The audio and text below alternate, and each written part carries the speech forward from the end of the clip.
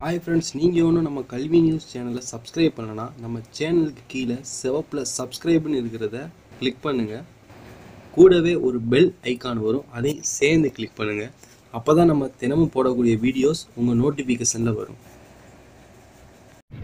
Welcome நண்பா. ஜனவரி இரண்டாயிரத்தி பதினெட்டு அன்று இஎஸ்எல்சி என்கிற எட்டாம் வகுப்பு பொதுத்தேர்வு நடைபெற்றது. அந்த பொதுத்தேர்வுக்கான தேர்வு முடிவுகள் ஆறு நாலு இரண்டாயிரத்தி பதினெட்டு அன்று மாலை ஐந்து முப்பது மணியளவில் இணையதளத்தில் வெளியாகியுள்ளது. அந்த இணையதள முகவரி மேலே இருக்கின்ற DGE one dot TN dot NIC dot in இந்த இணையதள முகவரி நம்மளுடைய வீடியோ டிஸ்கிரிப்ஷனில் கீழே கொடுத்துருக்கேன்.